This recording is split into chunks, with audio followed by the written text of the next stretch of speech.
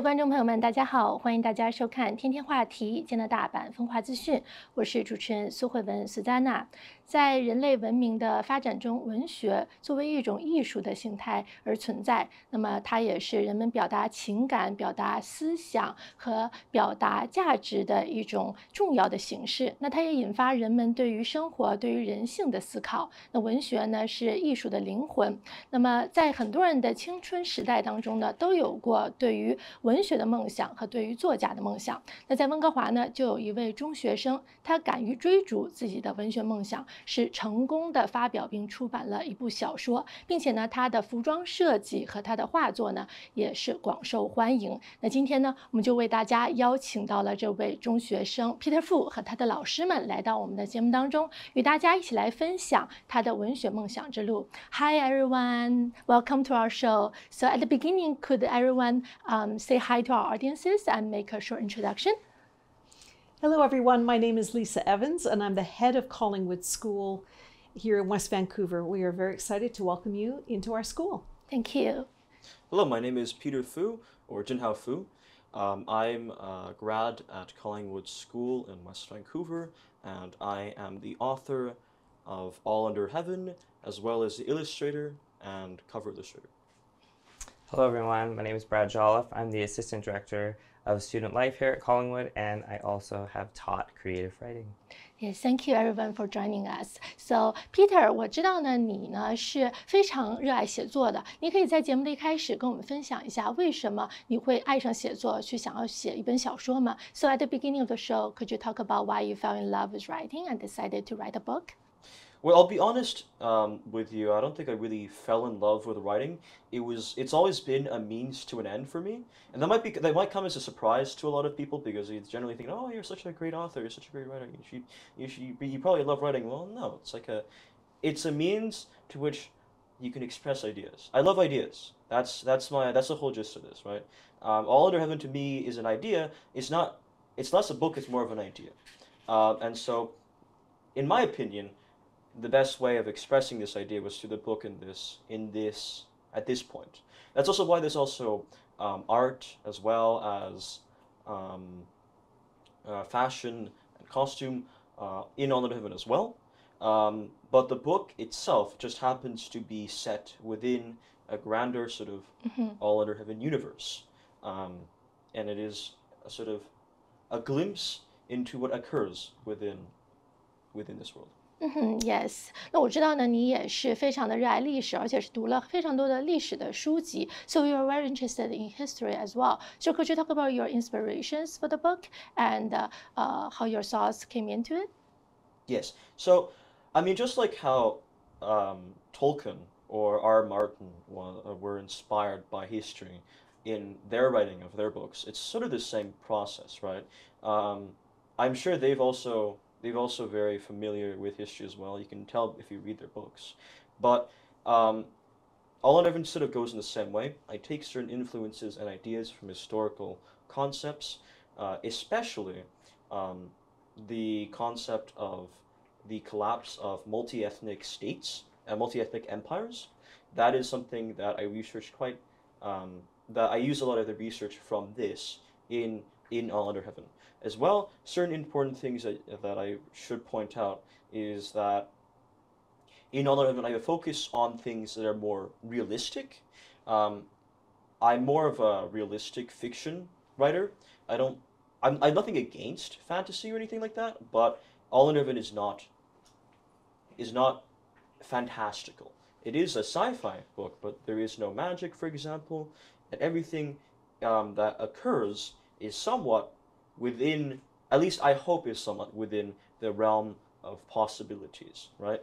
Um, so when it comes to, for example, governance, or um, or for example, there's a large amount of the book which is focused on conflict, and so these conflicts and the- government, that and that sort of stuff is all very much based off of things that occurred in areas similar or analogous to um, to what happens in All Under Heaven. So you take sort of you take stuff in in history, and you use it as a way to determine um, whether or not the book and stuff inside of the book is realistic, and it's an it's an it's an influence 嗯，Yes, and you have lots of interesting ideas as well。像是你在这本书中呢，就是有一个呃关于未来世界的一个构想，而且呢，你还是创造了三种不同的语言，新的语言啊，可以跟我们分享一下吗？So in this book, uh, it's about a world in the future, and also you created three different languages, new languages for this world. So could you share your creation uh, to introduce to these audiences?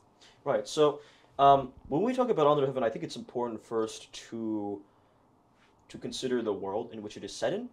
Um, I'll try to go as quick as possible, but generally it goes like this. Um, All Under Heaven is set on an exoplanet called Elysia in the 39th century.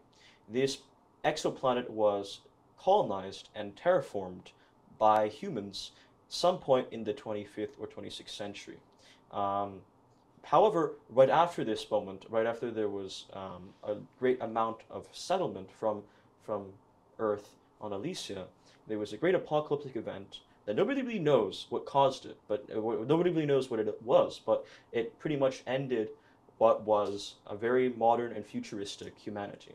So after this point, um, technology rapidly collapses to uh, and regresses to something like the Dark Ages, um, which forces um, a lot of um, but, like but after this point, there's a sort of um, a sort of a, a rebuilding of civilization that occurs.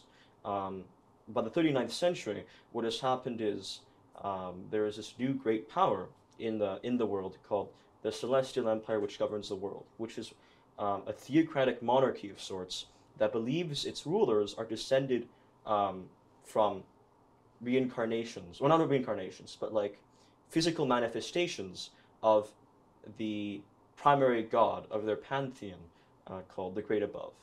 Um, and this, this, and the religion shuns the practices and pretty much anything to do with the world before the Great Apocalypse as something that was wrong and problematic and should be avoided um, lest there be a second Great Apocalypse.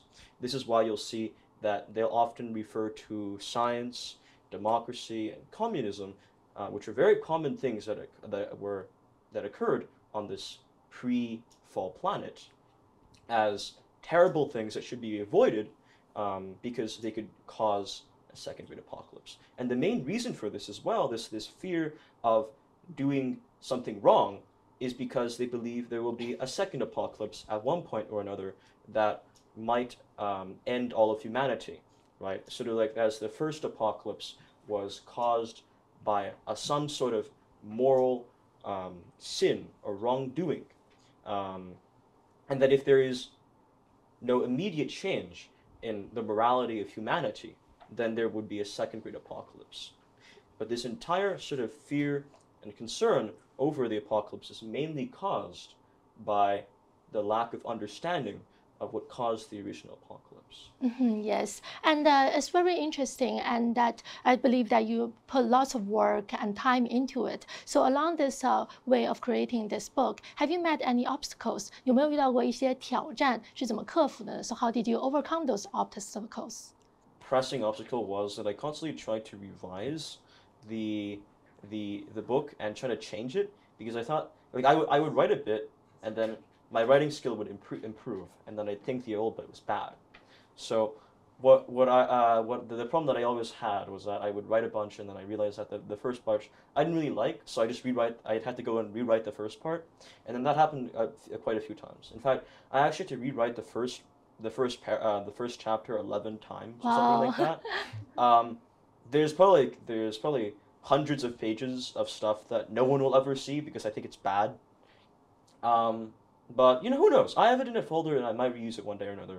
Uh, mm-hmm. Uh, so it's it's all an important aspect of yes. sort of um, my development in in creative writing. And also along the way, the school and your teachers helped you a lot. So could the teachers share um, maybe how the school can help uh, students like Peter to write maybe through creative writing courses and uh, uh, how you prepare them for university, which uh, a better uh, understanding of writing is necessary? Yes, um, English is a foundational skill. At the youngest of ages, we call it language arts, and we really talk about the ability to read and write and to share your ideas. And so that is part of the curriculum right from our youngest students starting in kindergarten up to Peter's grade in grade 12.